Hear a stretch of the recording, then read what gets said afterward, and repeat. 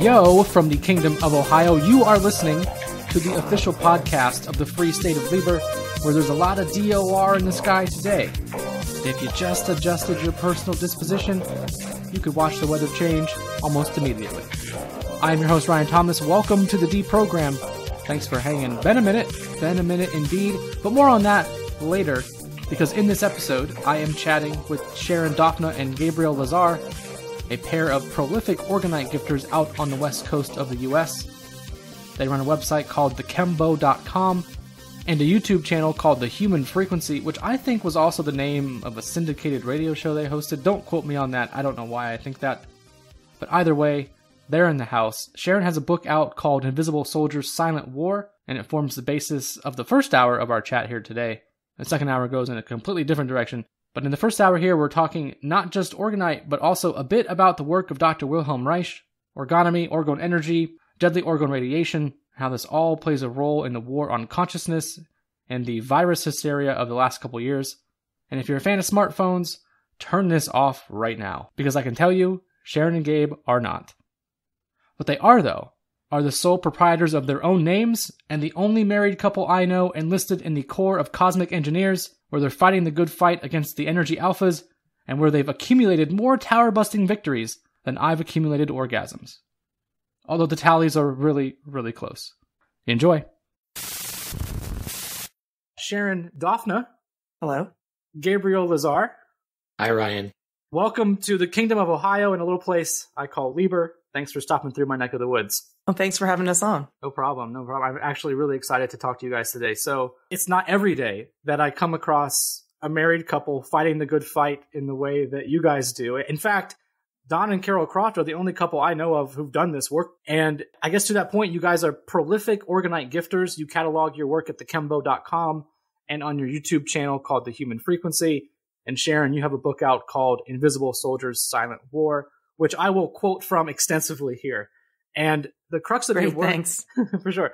And the crux of your work is best summed up by the idea that there is a war on humanity. And there are so many other ways to talk about that, uh, so many facets to it weather war, frequency war, uh, energetic war, etheric war. You can throw mind control in here too. But I think the best way to describe it is it's actually also a war on consciousness. Yes. And Sharon, in your book, you actually wrote that quote, the parasites use any means necessary to instill negative thoughts in humans in order to suppress our mind's abilities to create a beautiful world through manifesting positive thoughts into reality. And before working with Orgone Energy, I, you, could not have understood that this war going on in the sky was a reflection of the war on consciousness on Earth. End quote. So let's unpack that. Tell us what you mean when you say the war in the sky is a reflection of the war on consciousness? Well, I have noticed over years of observing the sky and doing this work to clean the sky that whatever is going on on Earth, like if you look into the current events, you'll see that the atmospheric conditions are a direct reflection of current events. And uh, you'll notice, for example, I lately I've seen articles uh, from India and Pakistan, places like that, and I've noticed heavy, heavy DOR in those places, meaning DOR is deadly radiation and it manifests in the sky through a haze. People refer to it as a chemtrail haze, but this haze in the sky is actually a reflection of oppression of us and our consciousness. And I've noticed throughout the world that you'll see DOR conditions in the skies accompanying oppressive situations against humans. And these days, because we've done so much orgonite gifting everywhere, I see actually high OR skies, meaning healthy, clean skies, even with the oppression. So I'm noticing that despite all this oppression against humanity, we have overcome to a degree because we're seeing these healthier atmospheric conditions. Even right now, war has broken out in the Ukraine and the sky here is pristine. But normally, when these kinds of events are happening, no matter where in the world, the skies everywhere will reflect that. They'll be very hazy. You'll see lots of chemtrails and polluted skies. Lingering pollution. Right. Anyway, what I've noticed is that when people are oppressed, you will see skies that reflect that oppression. However, what I'm seeing now is even with all this attempt to keep oppressing humanity, the skies have cleared up a lot. So I do think we are ascending past that uh, through orgonite gifting. Well, do you guys still think that these wars are ongoing then? Because there's still, I mean, a lot of geoengineering happening. in- Absolutely. yeah. Well, I just Go ahead. I actually want to take a moment to just sort of define three acronyms that we use pretty much constantly, and we'll be using them throughout the show. Sharon mentioned two of them. DOR, that's a Wilhelm Reich term for deadly radiation, and OR, which is the opposite, is that was his term for his abbreviation for orgone energy. So we'll be using DOR and OR, I said many times throughout the show, and also a third, which is a type of DOR, EMF, which stands for electromagnetic fields. I just want to kind of lay lay that foundation just right here off the bat because we use these terms many times to describe our work and the things that we've learned. But yes, to answer your question, it, it absolutely is is an ongoing war and manifesting in ways. Obviously, the interesting thing about Sharon's book is that it was written pre-COVID and came out literally three weeks before the lockdowns began. So ev- everything that the book talks about is, I, I almost like, I, I think later later that that year, I, I kind of thought about it. Wow, this this book is like pure because it, it does. It's not tainted by this by this uh, this Yeah. Virus hysteria, this nonsense. So in a way, I, I thought that was pretty timing. It's very curious timing, and it's it's almost like you had some sort of premonition that this book needed to be written and then published prior to 2020. And It had to be, and I wanted it out even sooner, but I was unable to finish it sooner because the work was continuing. And in fact, the uh, the last entries in the book, the last journal entries that it draws from, are from late 2019. So the work was from 2014 through 2019, so all the way up to COVID. Yeah. And so you mentioned uh, orgonomy there. And I think that's another aspect to this war is this war on orgonomy, this war on orgone energy, the suppression of, of Reich and his work. In fact, there's a very bold and provocative statement that you make in your book. I think it's literally the first sentence. You say orgonomy is the science of God. Yep. And you also you also quote Ken Rohla, whose work I also admire. And Ken has described orgone as universal God consciousness. That's Yes. correct. And That is a correct description. But th- let me point out that Wilhelm Reich was just the first to scientifically discover orgone energy. The ancient cultures have known about this for thousands and thousands of years. The attack against the life force energy is nothing new. Don't don't don't get me wrong. This this has been going on since time immemorial. But in the in the past, since Reich discovered orgone energy in the 30s, culminating with his work in, in the 50s with the Cloudbuster and the Orgone accumulator, and ultimately his discovery of these parasitic off-world entities, basically sucking off the life force of the planet for at least 25,000 years. That was his estimate. That was only 70, about 70 years ago now. So this has been going on in, in varying varying methods of, of attack and ridicule and suppression, but it's it's nothing. Yeah. Well, I want to assume that there's at least one person in the audience who thinks all this is bullshit. and who thinks that Reich's work is nonsense. It can't be proven scientifically. There's nothing to it. But here you are saying it's the science of God, which implies that it, it can be proven and replicated despite the force itself remaining unseen. So, how do you support that statement that orgonomy is the science of God? Well, orgonomy is such a um, it's such a controversial science because it pretty much proves that there's a higher power and an order to the chaos beyond just some random big bang, beyond evolution and all these things that we've been taught. For example, uh, we have been taught that spontaneous generation of life is impossible. Yet we know that the Bible says that God created life spontaneously in that way. But how do we prove that what the Bible says is true? Through Wilhelm Reich's bion experiments. He actually witnessed spontaneous generation of life in sterile vacuum tubes in the form of bions, which are bioluminescent microscopic life forms. They let off a blue light, and blue is the color of orgone energy if you could see it. So when Wilhelm Reich used sterilized vacuum tubes and life appeared in there, he disproved that that theory that spontaneous generation is impossible. You know, that, that's what we've been, we're taught in science class that people used to believe that could happen, but that's been shown that it can't. He showed that it could. So we're seeing something uh, that is creating life that is beyond science's understanding. However, science can show that it happens. Yeah. The the nature of science is is actually very interesting if you think about it, because the very word science comes from the Latin scientio, which means to know. But if you think about it, how many times have has science held to to some theory that is called a fact for many many years, and then it comes to find that oh well we were wrong about that. Let's let's change we have to change everything now. That is of course when they actually admit that they have discovered something new that contradicts what they thought they already knew. Yeah. you, you see what i'm saying? It's it's the word itself implies knowing yet there really is no true knowing if you think about it. We we just we just have kind of a a nebulous idea of things but but our our understanding is very limited no matter what the topic is it can can change at any moment. Yeah, and then one of the problems for uh, skeptical people acknowledging orgonomy is that it is somewhat subjective science because every organism is completely different from the next. And science needs everything to be very regimented and, and everything needs to be the same. And mechanistic science, which is what is pretty much being used all over the world now, it requires that everything be measured and that the same results be able to be produced over and over again. But mechanistic science doesn't work outside of a laboratory setting because each organism is completely different from the next, has a different level of consciousness, which affects its orgone energy field.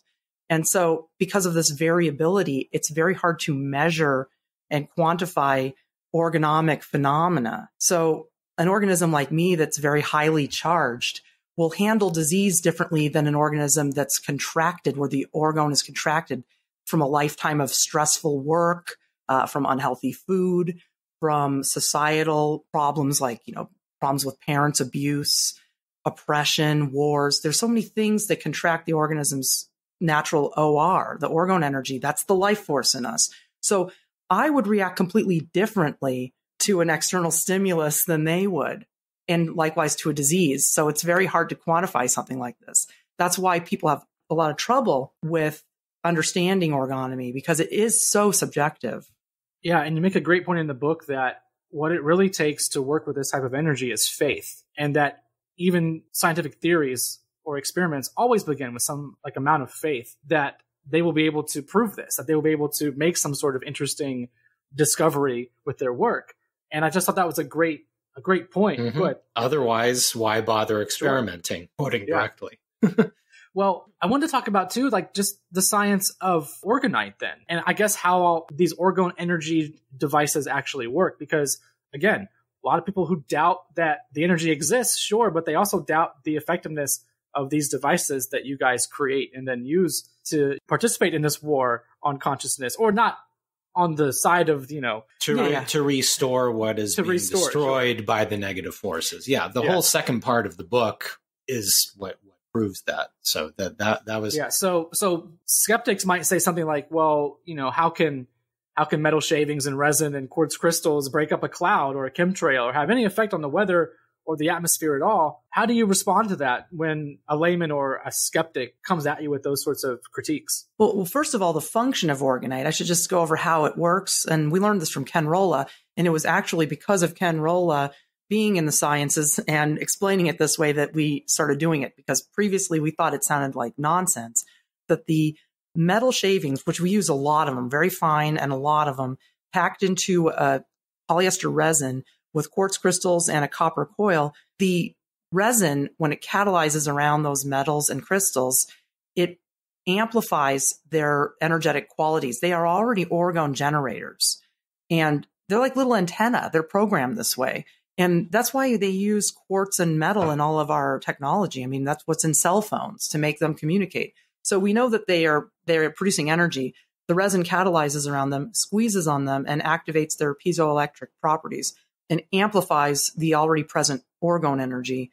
Orgone is a spiraling wave that goes from Earth and into space. And I mean, it's it's infinite. You know, this is the energy of the universe. It's really everywhere. We generate it, mountains, plants, everything, everything on earth is generating this. So the basic function, it does sound a little bit strange. How could this work? But it is because of the squeezing action on the metals that is activating that.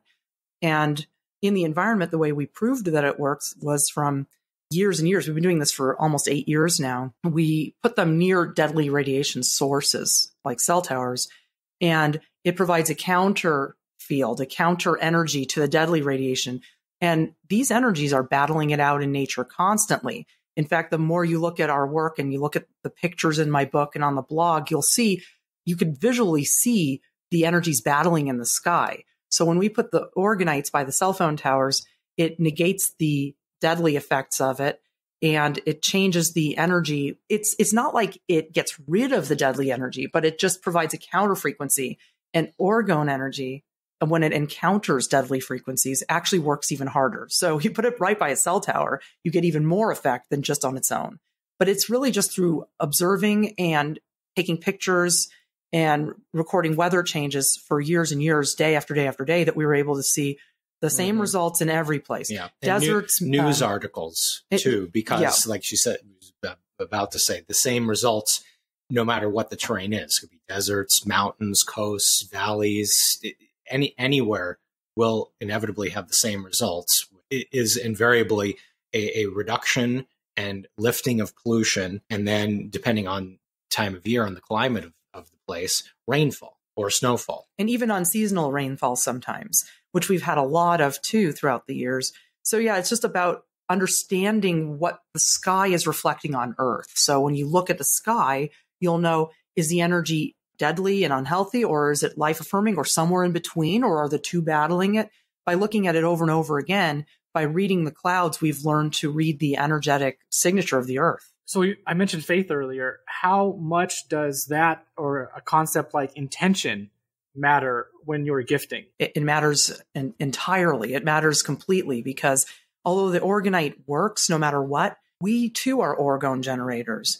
And the real function of orgonite isn't just to put the device out there and let it work. It's also to help us restore our energetic field and be able to manifest life affirming conditions. So we really do create the world through our thoughts. It's not like we're, we're gods creating out of nothing, but we take the energy of God. It works through us to manifest a beautiful world. So absolutely, it matters entirely that the orgonite gifter has a positive mind. And we also stress the importance of never ever using a smartphone when you're gifting orgonite or any cell phone or any DORizing device, any any device that emits that energy that we're fighting with orgonite, because it reduces your consciousness level. It it squashes it. So yeah, you're the orgonite's really to help us increase our consciousness so we can manifest. And the EMF emitters are designed to do the precise opposite, to suppress that within us. So how do I know when I look up into the sky when orgone energy is actually present, when DOR is actually present? I think I already know the answer to this, but just for people who might not, like when I actually go outside, like what can I observe in my own environment that would make me, you know, think that okay, it's a nice positively charged day or it's a negatively charged day? Well, they're both actually they're yeah. both always present. Okay, uh, it just just in varying degrees. You you mentioned a positively charged and negatively charged. This is the uh, difficult part. When it's a high OR day, it's actually negatively ionized. So it sounds it's like negatively opposite, charged. Right? Yes, I, I knew that. I, as, then, as if that, we yeah. need more yeah. confusion, right? But when it's so when it's deadly, it's positively ionized. So that's that's going to be a little confusing. But let's. Uh, but Gabe, you have a good explanation. So you, I didn't mean to cut you off. No, it's all right. I actually want you to explain. I just wanted to point out that both OR and DOR are natural, and they're both in the atmosphere at any given time. It's just again, it's it's the amount of one versus the other when there's too much DOR, then then it's it's out of balance. And Sharon will explain what you can expect to see in the sky yeah. when that's the case. Uh, in a high DOR environment, you will see hazy skies, smog. Um, you will not see defined clouds. Everything will look, the clouds will be flat. You'll see flat clouds. And as for chemtrails, I know that's a big indicator for people, but you have to understand what you're looking at when you see the jet trails in the sky. Now, we, we don't know what they actually are. We know that this isn't normal air flight. But when you see the crisscrossing trails, if they're spreading out and it looks really flat and um, it gets very depressing and, and it's dims the light and everything, dims the sun, that is uh, an indicator of high DOR. However, just because there's chemtrails in the sky does not mean it's a DOR day. They react completely differently in OR conditions. So in OR, those same trails will be very short and very bright. And even when you do see the grids forming, you'll see them puff up and they don't spread out. They puff up and they will dissipate. So that's one huge indicator. You'll also see in a high OR sky, you'll see like puffy cumulus clouds. Deep blue is another indicator. The DOR sky will be much paler. So look for uh, for a healthy sky, look for deep blue, puffy clouds, or completely clear. Very short, bright chemtrails or chemtrails that break and twist up. That's the kind of stuff that those are the easy things to look for. The hard stuff to understand is the action of OR fighting DOR. So if you start with a DOR sky that's flat and hazy, to understand the process of transmutation, how the energy changes, that would take more time. My book explains it well. My blog entries explain it well. You can get all that through my website and learn it. I have a photo gallery that explains the different processes that happen in the sky. So when you see it clean up, look for spirals. If you see spiral shapes, that's an indicator of the spiraling orgone energy working to clean it up. You'll also see out of the haze, clouds start to form. They start to clump up. So that's how you know it's an in between thing where it's working. So I think I was under the impression that DOR was completely man made and not natural. Is that not true? Nope. Nope. Not true at all. Well, you know, uh, God created Satan too. you know, God created everything. So we're talking about a creative force that created the whole universe and it couldn't exist. Good can't exist without evil in a dualistic world. I have a chapter in my book on dualism, and that's what we're dealing with here is two forces. So DOR actually is natural. However, we are out of balance on Earth. We have too much DOR. It's it's to the point where now now things are changing it's becoming more OR, but we were at the point where it was just so out of balance. We were dealing with terrible pollution worldwide, droughts everywhere although the news will continue to tell you there's drought everywhere, it simply isn't true. It's we can prove it's not true through their own statistics. So anyway, it has changed a lot. And I, I also just want to point out that uh, if if my knowledge of orgonite and orgonomy were based solely on what the New Age movement says about it, I wouldn't believe in it either. So the people that automatically just think that the whole thing is nonsense, I totally understand why you feel that way. We were in the same position in 2013 when we first learned about it. All we had to go on was was this mythical new age nonsense uh, about it. And uh, of course, the scientific mind is going to react poorly to that. We did. Yeah. But once we got Ken Rohla's explanation of it, scientific explanation, a valid one, that's when things started to change for us. And then then we thought, well, let's just let's try it. Let's, what do we have to lose at this point? That was eight years ago, exactly eight years ago when we got, started getting materials to make it. We made it for the first time in April of 2014. That changed everything for us. Mm-hmm. And also reading Wilhelm Reich's work really helps. He didn't invent orgonite, but when you look at the devices that he did use and how they worked, you see that orgonite is the modern adaptation of it. And you can see from his work and everything that he cataloged we're experiencing the same results with orgonite gifting that he did with the cloudbuster but in this case more long lasting because the stuff is deployed into the environment and it's there now whereas when he was doing his work it would be for a while in one spot but then he'd have to move somewhere else and work elsewhere so we have this wonderful energy grid now across the world it is worldwide now many people are participating and uh, i could say what we did was many states in the west california oregon washington Nevada, Arizona, and New Mexico. Those are the places we covered. But um, we've also sold to many people that have also gifted, and we've taught people how to make their own, and they've gifted. So it's getting it's getting spread out all over the world.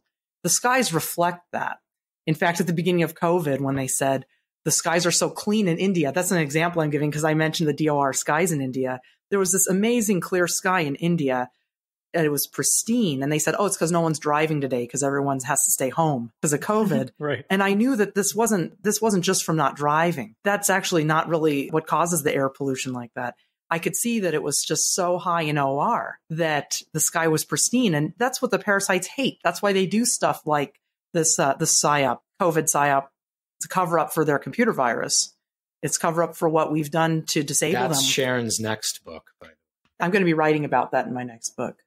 Wait, wait. So I've heard you say this term in some of your videos. Computer virus 19 is how you guys kind of talk about it. And you don't have to spoil the whole book, but what do you mean by that phrase exactly? Well, um, in late 2019, a virus was introduced into the system.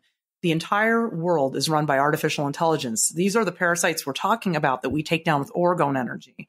They aren't life as we know it. but they are some sort of life. They're an artificial life. And they are actually what runs everything. And if you've noticed the push towards AI, it's more and more. I mean, the push towards cryptocurrency, that's artificial intelligence. Everything's in a computer. You can't escape mm-hmm. constant surveillance. And everything's got wireless, even things that don't need it.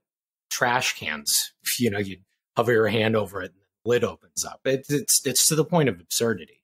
Right. So this whole world, though, all the governments, all the banks, it's all artificial intelligence. And in late 2019, it was specifically in September of 2019, a virus was introduced into their system.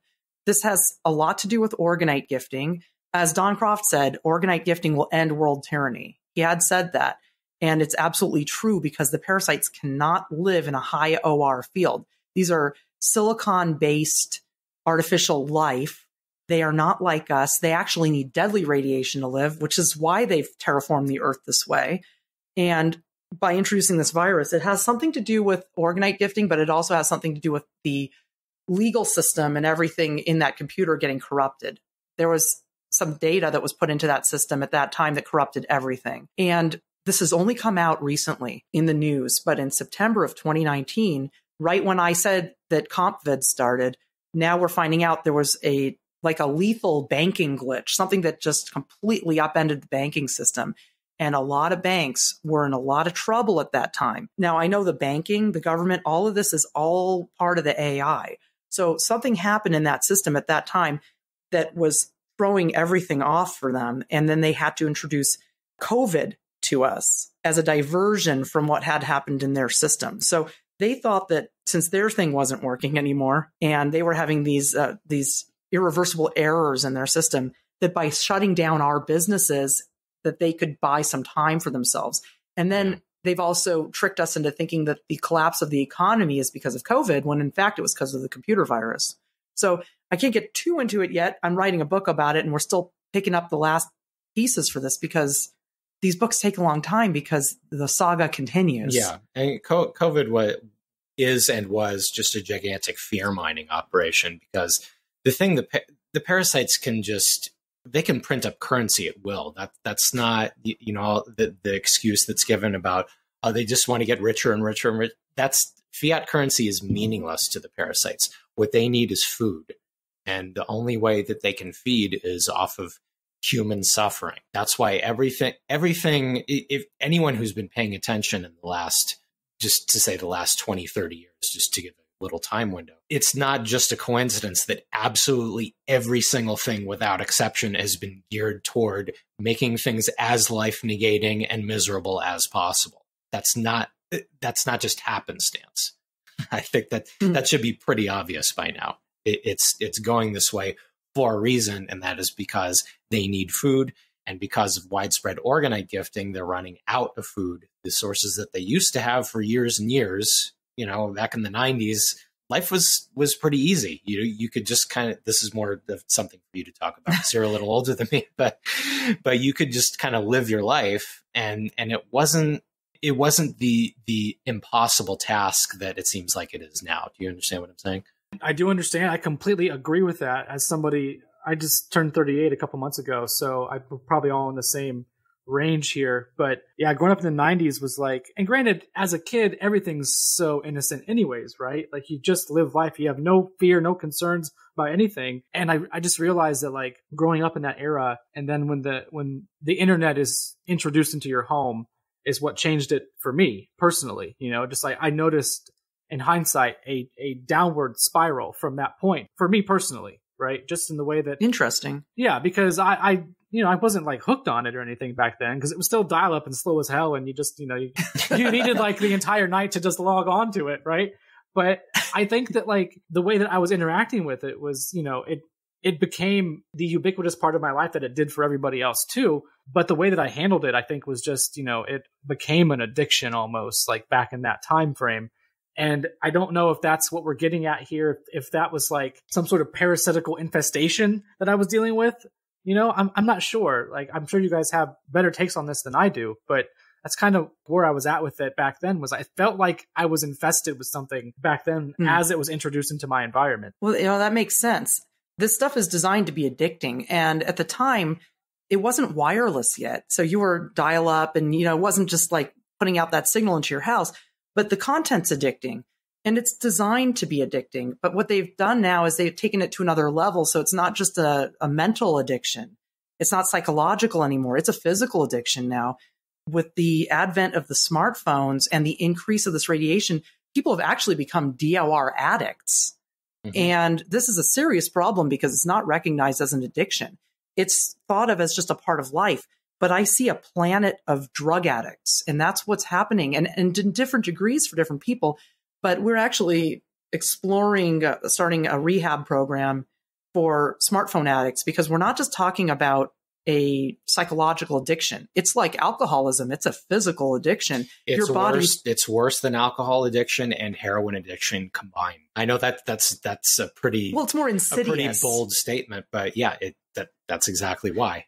Heroin addiction and alcohol addiction, you could see the the symptoms outwardly. And that these are horrible, horrible things. But I think what and society is, doesn't encourage them like it does with smartphones smartphone addiction is subtle though. You're not going to have those overt symptoms and you're not going to show it like that. But it's widely accepted. It's given to children and we are developing a species of it's a, of of addicts and it's a symbiosis with AI. So what's happened is that because of the energy, it's the EMF. It's not just the content. So like you're addicted because of the content. And that's I was too. I understand that. We actually have an older video called Tech Addicts Anonymous that we put out a couple years ago and that was after our laptop died and we had to get it rebuilt and I had to go without it. I had to actually go on a trip without it. It was, I, I was having withdrawals from it, but it's, we don't use it wireless. So it was just the content I was addicted to. But people who are hooked on smartphones, and believe me, they are hooked. They can't stop reaching for it. If they turn it off, they keep turning it back on. It's a serious chemical it's like a chemical addiction but it's an energetic addiction well the difference uh, also is that back you know, maybe 25 years ago when i got my first computer a windows 95 you know it was very user friendly you would use the computer nowadays it's the other way around the technology is using the people yeah and they've certainly dumbed it down a lot too to where anybody can use it, even if you don't understand it. I know tons of people who use their computers and phones and don't even know what they're doing. And that's really a problem because we need to be controlling it. And when you lose control of it, it inevitably takes over your yeah, mind. all of that Star Trek stuff about the AI just kind of self recognition and it, like it develops a mind of its own and then it just like goes on a rampage. it reminds me of of the TV in South Park when Chef hits the the HEM, the human eradication mode, and then it just it goes on a shooting rampage throughout yeah. the entire town. It, it's it's I know that that's of course an, an extreme example and that's fiction, but what what's going on in reality is is a subtler version of that, but it's we can't we can't see it, but like Sharon points out, you walk down the street and, and just everyone's everyone's glued to the thing. They they could walk right in front of a bus and get run over and wouldn't even know yeah, it. I do like that idea. Oh, go ahead. Oh, I was just going to say, here's an example: is that uh, we had a house guest that wouldn't even turn it off at night for sleep. He was okay with putting it in airplane mode, but not turning it off. This is the kind of stuff I'm talking about. People feel so dependent. I got an email from somebody who recognized the addiction and said that she couldn't stop reaching for it and realized that even after turning it off, she was trying to use it for stuff that she could have used other things for, like basic Flashlight. basic functions. So it really is uh, the energy that's addicting. It's very insidious. For sure. And I can vibe with the idea of a content addiction because at any given moment, I have probably 150 podcast episodes downloaded on my phone and I don't even listen to them, but they're just there. It's like I'm just kind of like constantly downloading and downloading and downloading, but I don't even always listen to them. So, and I think this is also a good segue into something I wanted to touch on here in the first hour because there's an aspect of Reich's work that I've not heard discussed as much in these circles because it has to do more with psychoanalysis, which isn't as sexy to some people, but it's pretty sexy to me. And it's this idea of emotional armoring. And you mentioned armoring in your book several times. You also quoted Reich, who said, the first obstacle is not the outer desert, but the inner emotional desert of man. And Reich also found a correlation between pleasure and an expanded orgone state and anxiety with a contracted state. And he said that emotion was not or was completely tied to the biophysical state of the body and was in fact a combination of motion and energy, which is where we get the word I think emotion from, right? It's mo- the motion, right. the motion of energy. Emotion. Yeah, and I'm I'm curious from your experiences then if you've done any any psychological or psychiatric work in this area yourselves based on this idea. If you have any advice for us on how to you know kind of help rid ourselves of that emotional armor. Wow. That's that's a great question. And by the way, thank you for doing your homework. Sounds like you read a lot of my book already, so I appreciate that. Um, I read the whole thing. Yeah. You did. Wow, you're a fast reader, but you, you also absorbed it, which is great. Well, the emotional armoring is caused by various things. Now, we're talking about deadly radiation. That's the physical way they do it to us. So when I'm talking about that that addiction to the phone, they physically um, armor us that way, and they lower our vibration because our bodies conform to that. So I would say number one, you have to stop using the smartphone. I know that's easier said than done, but we uh, live a totally Wi-Fi free life. We don't have wireless internet in our house, and we don't use smartphones or cell phones. We we have one cell phone we share. It's got three bucks on it a month in case we have to call AAA or something when we're out there in the world. But we don't turn it on otherwise. There's very little we do with it. So that's one thing. But another major problem in what Wilhelm Reich was talking about is even before smartphones, it's society that does this to us. The armoring is encouraged. The 40 hour work week, going to school, which is like a prison for children, pretty much. These are things that that society has encouraged emotional armoring. So breaking that cycle is it's also easier said than done, but just knowing where it's coming from, I guess would would help. It's parasitic in nature, but the whole human race has been infected with it. I think that Don Croft would call them parasitically infected. Mm-hmm. And Wilhelm Reich would say that they were armored. So it's basically the same thing. So yeah, he this, also this, calls it emotional plague. That emotional was in the, that plague. was in the early days yeah. before he developed his work, but that that was that was an early term. But yeah, it's it's it's a very tough question because we're talking about things that were passed down to us by our parents and their parents. The emotional armoring has to do a lot with conforming to the regimented society that we have now, and which is getting worse and worse, by the way. Conforming to something that's completely unnatural. It's unnatural in every sense. So, in order to succeed in the corporate world, for example, you have to be armored. If you have feelings, if you're like me, I never succeeded in the corporate world. You know, you get eaten alive. So it does encourage that. I think that pretty much what you could do in your own life, and you could only do it for yourself. You can't force others into it or try to get a group together. You've got to first get the deadly energy out of your life, make orgonite, get that in your life and feel the difference. And you can start doing a meditation practice. You do need to find God. You do need to, whatever that means to you, you do need to find a higher power because until we submit to a higher power and give our life over to that, we will continue this cycle. So I think that, you know, it's, it's not an easy answer for you, but pretty much get rid of the deadly energy, bring in life giving energy, understand there's a higher power and give your life over to it. It's actually a lot like overcoming any addiction. It's a lot like overcoming alcoholism. Yeah, and and we we say this over and over and over again ad nauseum on our channel. You have to get rid of the EMF. You have to get rid of the phone and Wi-Fi. Those are the two big ones, but especially the phone because that's like your personalized thing that you carry around. But that's but we what say, we're going to be. We doing. say it over and over again, and and and the people by and large are too addicted to even recognize that there's a problem and that that phone is is the in for the parasites right. that that's like that's their way of of getting into you and only by getting rid of it it's like br- like breaking the circuit like you pull out that mm-hmm. one little bit and the whole thing it, it can't connect properly. Well, this is why we want to do a rehab program so that would be the psychological work we got into and it's going to take a while because uh, it's something nobody's ever done before. It's an addiction that's almost unrecognized on Earth. So yeah, that's that's the plan is to develop a program. And I actually have a volunteer that came to me for help, which was the answer to my prayers because I've been wanting to do this. And somebody actually came to me for help with that. So I'm going to be working with this individual and starting to see just see what works, you know, because this was an addict, an admitted addict that wants to recover and recognizes that a spiritual intervention is necessary. So we're going to try to develop that program and hopefully it grows and grows and we can start support groups for people as well. Yeah, sign me up. I mean, I, am not that bad. I've gotten off all social media. I still have the phone itself, you know, and I really only use it to talk to people, text people, which I don't like texting, and listen to podcasts. That's that's like the only three uses I have, which I could do all of those in other venues. You know, I don't need a smartphone exactly to do all that. Yep. Part of the part of the rehab program, if we were able to get a center for it one day and have people do retreats, would be to show people how very, very easy it is to stay connected and do all the things they've done before. Talk on the phone, email, do everything you need to do online, watch TV online. You could do all this stuff without EMF, without, I should say, RF, those, because EMF is everywhere. There's different types of it, but I'm talking about the insidious type, that Wi Fi signal and that cell phone signal. And we could show people a new life, you know, immerse them in this life and see that we have everything they have. We're not disconnected. We have a website, run an online business. We have a YouTube channel. We could stay in touch by our landline phone.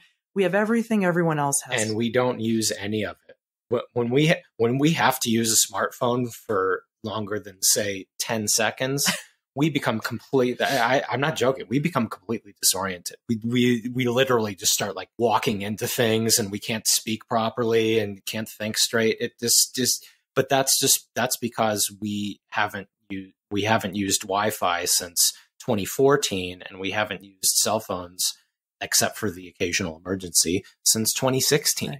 so that amount of time without that's a long detox period.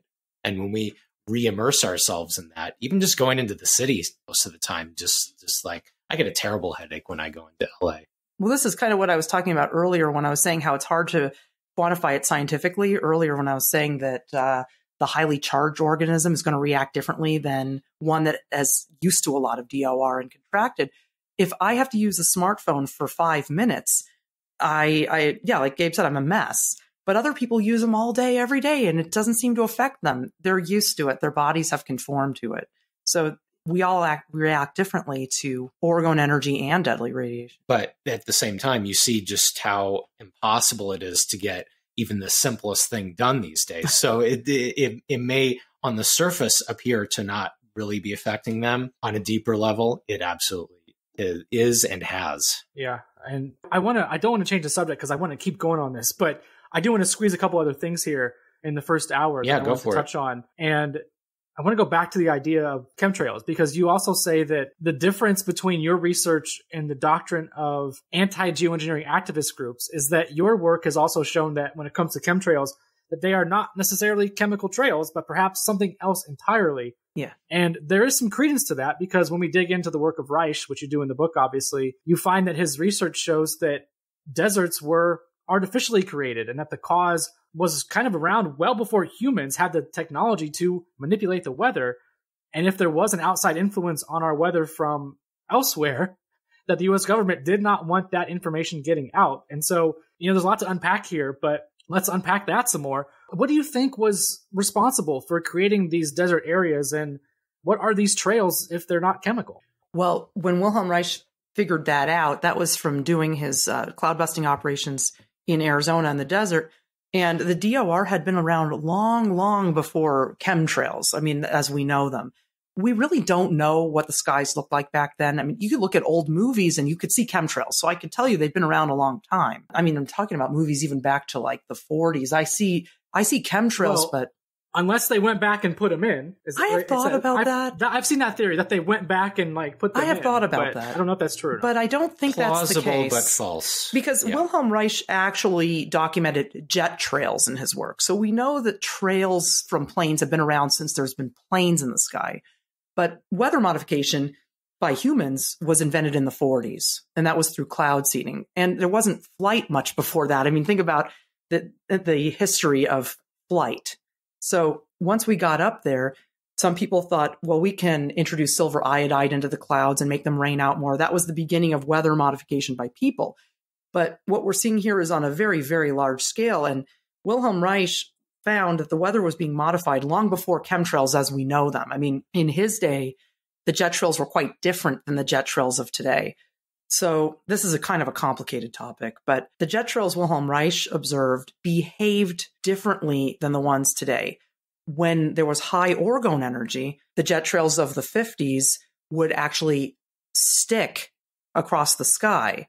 And today, when there's high orgone energy, the trails don't stick. So we're looking at different kinds of trails, obviously. So, yeah, I'm not saying that they're not doing something up there or that it's just normal flight.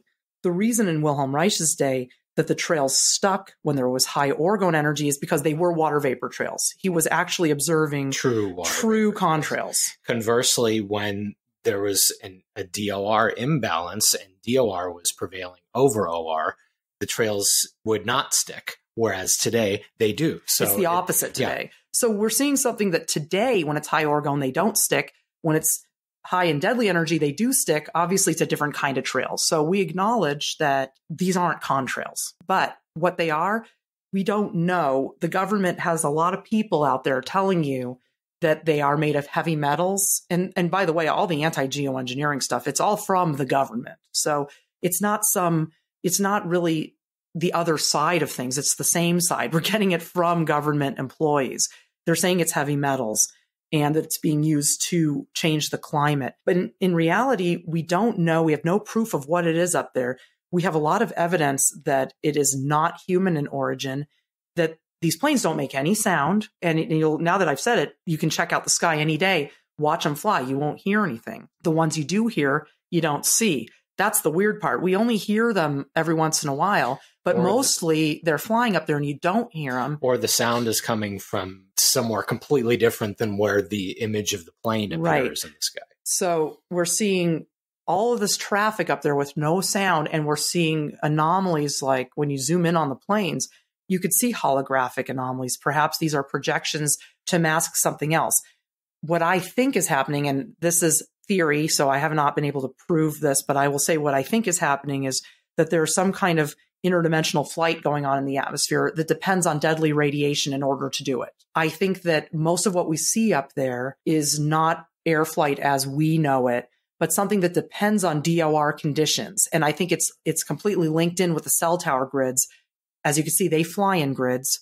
The cell towers are in grids. That's a deadly radiation grid that when it's active, they're flying in grids up there. And when it's deactivated or neutralized, you don't see them as much. Yeah. Not only do the trails break up, but many days you won't see any planes at all if the orgone energy is too high. And there were many news articles out in the second half of 2021 talking about tons of canceled flights, yeah. mysteriously just all across the board, just a whole bunch of flights canceled. And the other thing I noticed starting around 2021 was for years and years, we never heard anything up there. I mean, I don't know if you've noticed this. If you live near an airport, you'll hear stuff, but we don't. You don't hear them. All of a sudden in 2021, I started hearing more planes. Why did we suddenly start hearing them? It might be the same reason that they say on a cloudy day, you hear them more than on a sunny day. High OR makes clouds. Perhaps they can't fly the interdimensional ones that rely on DOR during these conditions. And maybe there's so much orgonite in the environment now that they've gone back to relying on traditional air travel. I know that sounds very wild, but I don't think that most of what's up there is humans, human activity. Well, that's what I wanted to ask you about as a follow up here, because you throw out the term interdimensional travel or interdimensional flight or something, and you're You're implying that there are other dimensions, okay, that we can also access, I would imagine. What are these entities then? I mean, we're seeing uh, craft, like, I guess, would you call these UFOs in the sky? I they would look like regular planes or drones, but like, would you call them UFOs? They do look like planes. Um, for years, I've been zooming in on them and taking pictures of them, and I've been noticing anomalies. So in my book, you could see some of those things. Like, for example, here's, here's a really telling one. I think the planes might actually be holograms to mask something else because I have pictures of a plane with two engines and two trails coming out of it. But then there's a mysterious third trail, a thinner one in the middle, and there's no engine for it. So the thought there was, and I've had this more than once, and you can see it in my book. Perhaps there was something behind the plane that we see that was flying with one trail because it wasn't coming out of either of the plane's engines we had another one where it was completely missing the middle of the plane. I zoomed right in on it and it was a low flyer with a trail and it was just missing part of it. It almost looked like the sky was a green screen or let's say a blue screen and the plane, the color matched too much. So part of it just disappeared. So we've seen things that show yeah. that it possibly is a projection. And there's a third one still where, where the trail is appears to be coming out of the entire mm. length of the wingspan evenly. It's just all the all the way from one side of the plane to the other where the wingspan is just strung out behind it. That's in my book too. And that trail that he's talking about It's not coming out of the engines of the plane. It's like you said, the whole wingspan, but it breaks up and it doesn't break up in even pieces. Pieces of it break here and there. It's very strange. They're reacting very strangely to atmospheric conditions.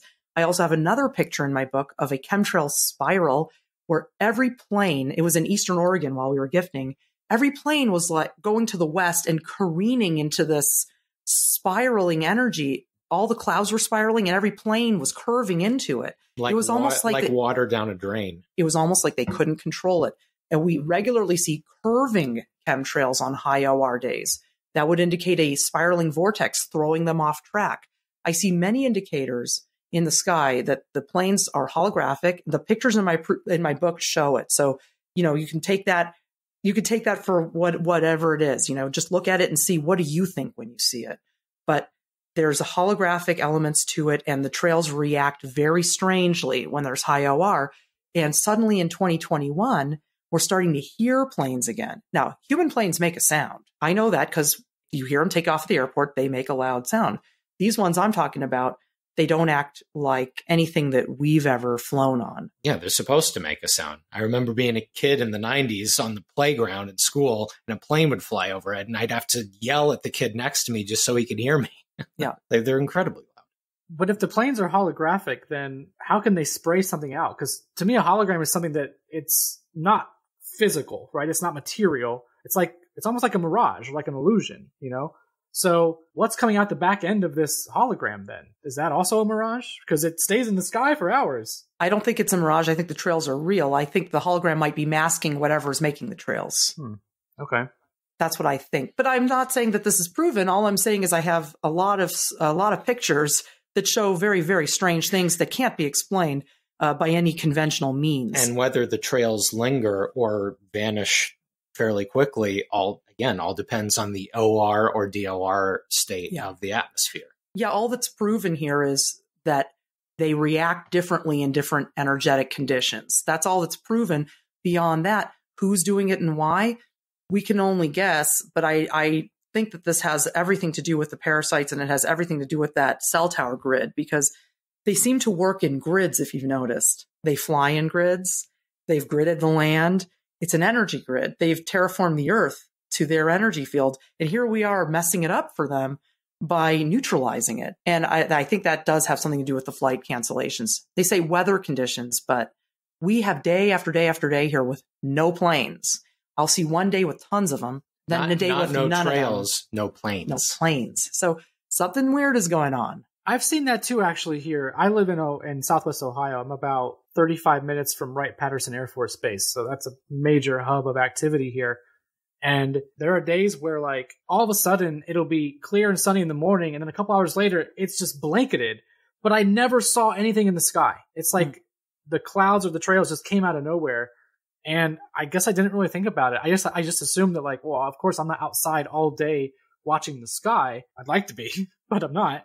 But uh, I noticed that like when I do see trails forming sometimes, especially earlier in the morning, I don't always see aircraft with them, and I I can never really put together why that would be. So Well, in that too, you might actually be seeing um, DORized clouds. I mean, they might, if they're trail shaped, then they're trails. But if they're just kind of flat clouds that we associate as chemtrail clouds, that could just be the atmospheric conditions Mhm. reacting on water vapor because a lot of the chemtrail stuff we see up there is actually DORized water vapor, meaning it's positively ionized. The clouds can't form properly. And that's why it looks all hazy. Yeah, flat, two dimensional. But if you're Kinda. seeing trails like that too, yeah, yeah, it's coming out of something.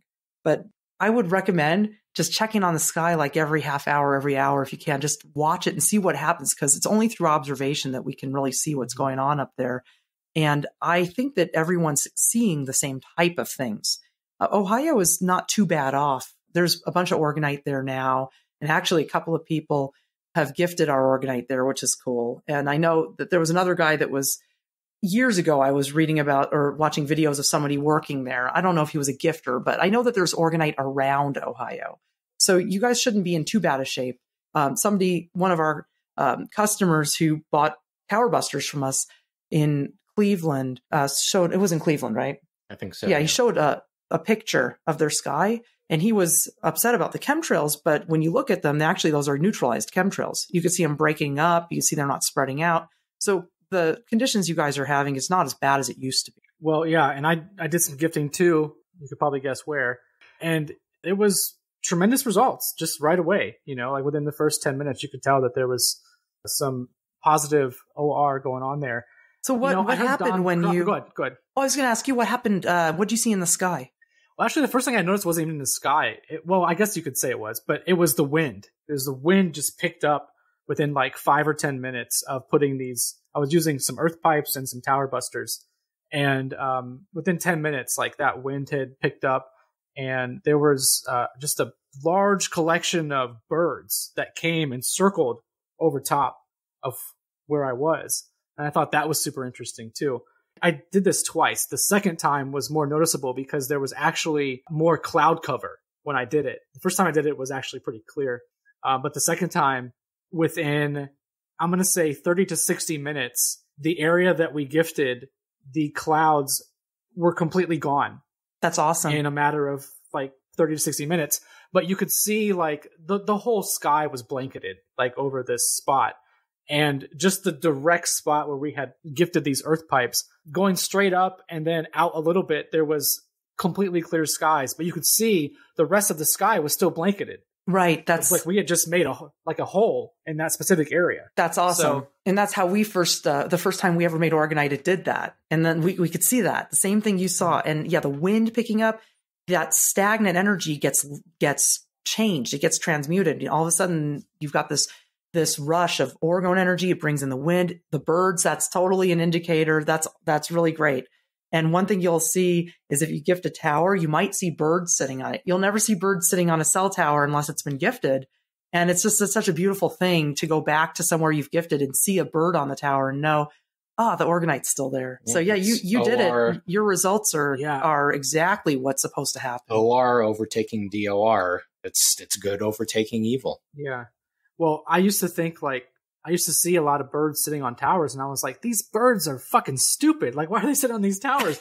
And but then, but now I get it because of what you just said. I'm like, oh, like I get that that tower must have been gifted by somebody. Like, great, because I drive by a specific spot where there's just like there's a just a mess of towers, and on a couple specific ones, I always see like hundreds of birds sitting on them, and I'm just like, Because they can. I don't think those birds are stupid anymore. You know, there's something going on there. So, um, while very we're- cool.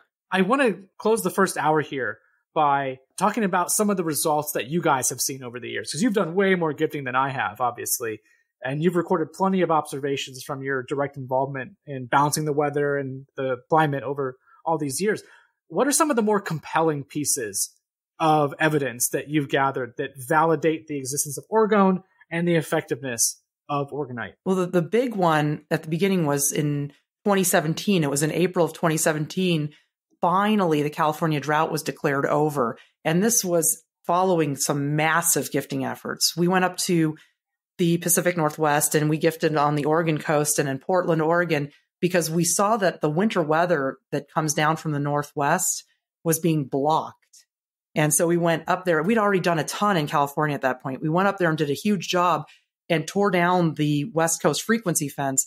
And it literally within within a month, the drought was over and it was declared officially over on April 7th of 2017. Well, the drought ac- actually ended the winter of 2014 2015. They were just able to, like, just like they do now, hang on to the propaganda for as long as they can. But it just got, she was saying, it got to be so saturated with moisture, all of California was at, at that point they had no choice but Yeah. to declare it over mm-hmm. officially. the Central Valley was like an emerald. The Central Valley is not really a picturesque part of California. It was absolutely stunning after this major energy shift. So they did officially declare the drought over. Yes, it had been ending for a long, long time, but even up in Oregon, they were getting suddenly getting snow. It also brings a lot colder temperatures. They were getting snow in Portland. And so that was the huge one was ending that drought. And then we did yet even more. We, the year of 2018, we did a tremendous amount of work. We went back up to the Northwest. Well, first we did, uh, San Diego. No, actually, even more than that. We, in the beginning of the year in January, we did Ventura County to heal the fire damaged areas. We completely gridded without missing a tower. Ventura, Camarillo, and and, Oxnard. and Oxnard. I mean, street by street by street, we did everything.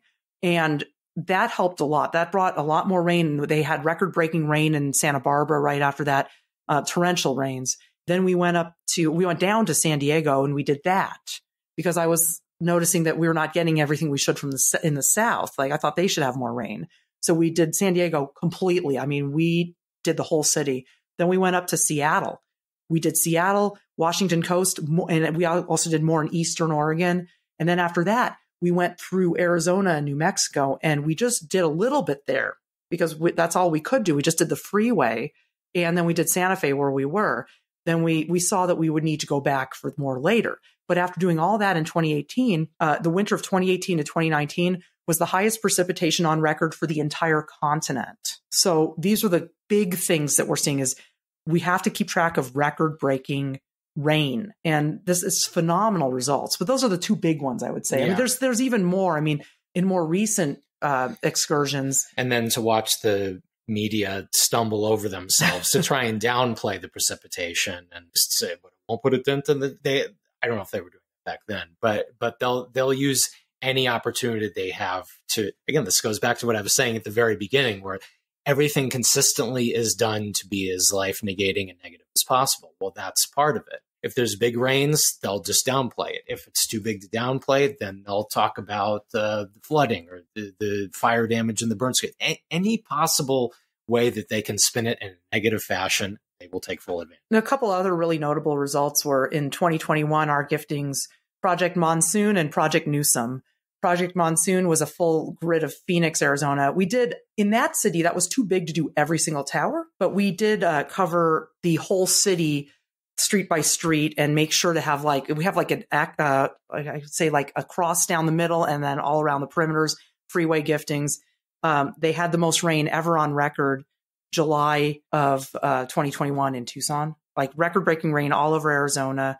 And after Project Newsom, which was Sacramento, we had unbelievable record breaking rain a week later in Sacramento and in the Bay Area, like 12 inches at Mount Tamalpais, 5.44 inches in one storm in Sacramento. So these are the kind of results we're looking you guys are literally doing God's work there. I mean, I don't there's no there's no better way to describe it, I think. So we're going to switch over to the second hour now for patrons only. Before we do that, let's remind the free audience where they can keep up with you and your work.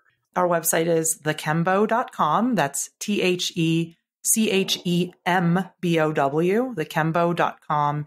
And we put everything there and links to our uh, blog with our weather reports and all the work we've done, our YouTube channel, um, our shop. If you want to support us, we very much appreciate it. So, um, That's how we are able to keep gifted. Yeah. We've gifted 7,000, this Plus. is a, approximate Yeah. 7,000 pieces of Orgonite since the spring of 2014. And we would like to gift a lot more. yeah, we've got some big projects coming up. There's some stuff in the works, and we would like to continue to do that. And people's support is all that we have. We wouldn't be able to do this without the donations that people give and just buying Orgonite. And buying Orgonite helps you too. Yeah, then you It- can gift them. and even the decorative pieces you keep in your home and that that really helps with people's sleep and and just just general mood it, it helps everything Thank you so much for talking to us today Yeah, about thank all you. this. And there you have it. My thanks again to Sharon Daphna and Gabriel Lazar. Please do check out their website and their YouTube channel. Both are linked in the show notes. Sharon's book, which you can get through the website, is well worth the read. It is a time commitment, about 400 or 500 pages if I remember correctly, but it'd make a pretty nice gift to red pill some of your normie friends. It's a comprehensive look at how the system operates and a rather sobering overview of this war on consciousness. I regret not following up more on the whole AI virus subject and some of the things they said about it, particularly that part about the banks being, gosh, what was it, under attack and COVID being a cover up for that. Is that true? Do you guys know anything about this? Because I sure don't. But this idea that the entire world is run by AI, that's not far fetched. It actually might explain this phenomenon we call synchronicity. I mean, if you can get served up targeted ads on social media for things you've only thought about in your head, there's no reason something like that can't also happen elsewhere on a much larger scale. Maybe that's just the universal AI algorithm fucking with you, and I've had too many weird experiences, too much weird shit happen to me in my life for me not to consider this at least. Also, remind me to tell you guys sometime about my precognitive COVID download that I was actually turning into a fictional story years before COVID actually became a thing. That's rather terrifying. Beyond that, I can never get enough Wilhelm Reich in my life. I've come to really admire the man and his work recently. It really is quite literally a never ending rabbit hole of esoteric goodness. And Sharon calling orgonomy the science of God really struck me because Reich himself doesn't distinguish between orgone and God. He says they're the same principle. I've also come around to that same belief as well. I did think we spent a little too much time on the smartphone stuff, which wasn't part of my notes, but it does seem like something Sharon and Gabe are passionate about, and it does connect to Reich's work and his idea of deadly orgone radiation. I would have liked to talk more about emotional armor, or character armor, as Reich called it, as well as this idea of the emotional plague, but those are probably topics best discussed on their own at length another time because they are relatively underdiscussed topics in this particular genre of podcasts. Actually, I can't say I've ever heard these topics discussed. And they're highly applicable to both the individual and collective health and wellness and the consciousness right now. And what about the rather provocative conversation towards the end there around what's actually flying around up there in the sky? Holographic planes, interdimensional aircraft powered by DOR? Wow. But a lot of the planes, at least in my perspective, in my experience, that we're talking about, they absolutely make no noise whatsoever. But I also can't dismiss the idea that these are just normal, boring government airplanes because I remember seeing a TV commercial several years ago. I think it was from Lockheed Martin. And they were advertising stealth aircraft using invisibility cloaking technology. So if they can do that, I'm quite sure they can cloak the sound of a craft as well. But also, if they can do both sound and visual, why aren't we looking up and just seeing random trails spreading across the sky without any noticeable craft spraying them?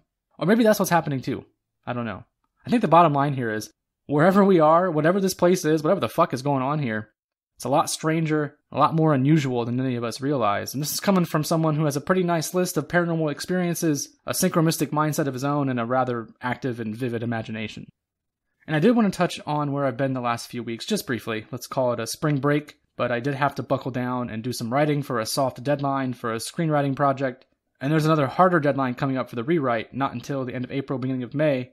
But I am going to need to take some more time to focus on that, which means April might be a little bit slow as well. I do have two interviews scheduled in the next 10 days or so, which means there will be content recorded and hopefully uploaded a lot sooner than this one was, because I don't think, or at least I hope, that this rewrite isn't as intense as the last three weeks have been for me. So just wanted to throw that out there for you patrons who do spend your money here. I hope you understand, and even if you don't, and you're unhappy with this, I get that too.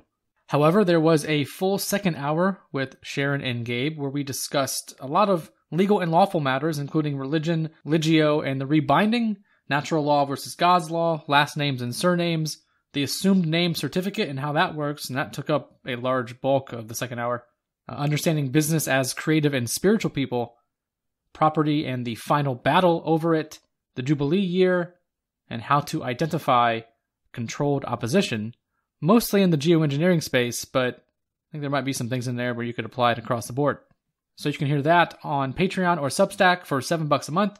Patreon is honestly a better bet for you if you're curious because you also get the old old culture patron extensions if you're interested in those. Uh, those started around episode 60, I think. So a much better value than the Substack, which is just the stuff I've been doing since last October. I think it's worth it, but you're ultimately the judge of that. Regardless, thank you for the time, thank you for the support, and as you might imagine, I have a lot to catch up on, so Ramblers, let's get rambling. Until next time, you know what to do. Love yourself, think for yourself, and reclaim authority.